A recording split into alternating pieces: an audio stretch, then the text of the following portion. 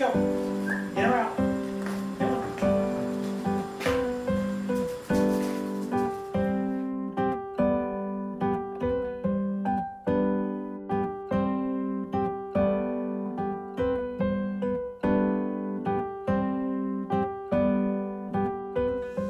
My name is David Patwan, and uh, Calendar Brook Cabinetry is the name of my business that I gave because my first shop was up in Sutton on the Calendar Brook River where my parents live. Uh, I've always liked working with wood. My mother did a lot of craft stuff with us when I was a kid, I guess, and when I went through high school, I had a really good shop teacher there that uh, was really good in the area and uh, he actually worked for me for 16 years after he retired from uh, teaching high school. Well, I had just a very small shop when I was up in Sutton, uh, and when I moved down here, I built this shop, which is quite a bit larger, a lot larger. My original shop was only 20 by 30, and this one is 60 by 72. And then, of course, I've put an addition on the back and on the front and now I have another storage shed beside it here. So I used to work all by myself, and now I have, uh, depending on the amount of work we have, two to five employees.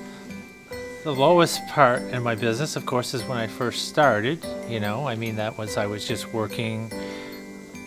Nobody knew me, so I was trying to get my name out there. I was doing whatever I could, and. Uh, you know, it's just, it's just a word of mouth business. I didn't spend a lot of money on advertising or whatever, so it just takes time to grow. One of our specialties here is uh, making cabinets. Uh, kitchen cabinets is probably our, our biggest business here.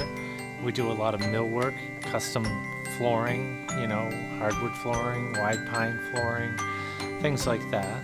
So, but we pretty much do just about anything. If people need a uh, chair fix, we'll do that, or if they need a, a kitchen, we'll do that. I usually go to all the job sites, do any measuring of cabinets, discussing things with people, what they want. So I always do that. Usually I do all the shop drawings for everything that has to be built. I assemble most of the cabinets that are built here. Uh, I usually have somebody else makes the doors, drawers, builds the facings, and usually somebody else does the uh, finishing, the sanding, and a lot of the cabinet hardware installation. So, so it takes a team to get everything done and out the door. Uh, I like to see things come about from, you know, we start, you know, I could take you downstairs and you could see that too. We start with just rough lumber, which is just nothing, and turn it into a finished piece, you know, that somebody's, you know, could last for hundreds of years actually.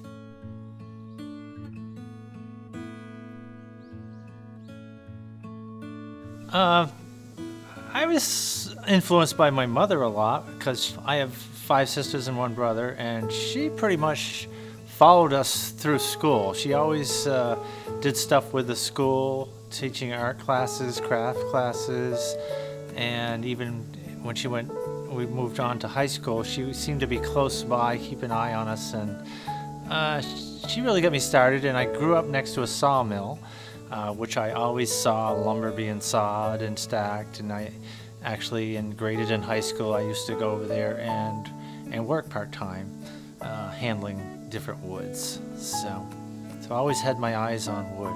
I do have relatives in the sawmill business, actually, but uh, none in the cabinetry end of it.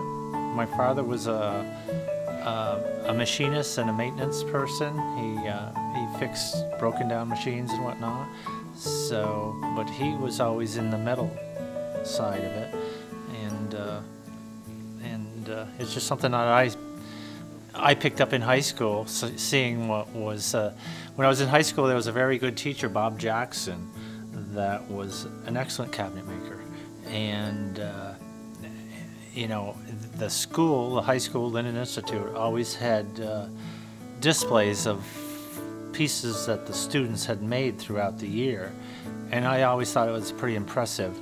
And you didn't get to work with Bob Jackson until you went through uh, a year, what they called Prevo shop, which was all hand tools, and then you went into the shop class, which was for juniors and seniors, which you would use uh, uh, electric stuff.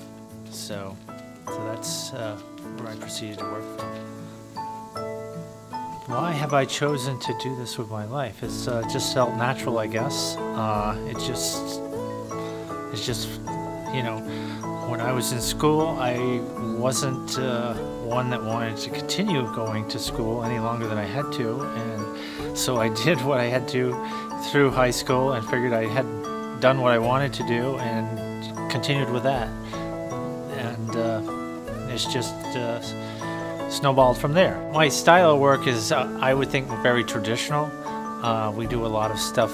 I, I do not like doing modern stuff actually. So uh, a lot of the modern stuff, in my opinion, is is throwaway stuff. So we do traditional stuff. We use a lot of uh, mortise and tenon uh, joinery, uh, which is the same thing they used several hundred years ago. The furniture is definitely going to last longer. It's all face frame construction. So, I mean, there are certain things we don't do as far as dovetail joinery and things like that, but uh, we do do mortise and tenon and a lot of, you know, quality stuff. So, and it's a traditional look.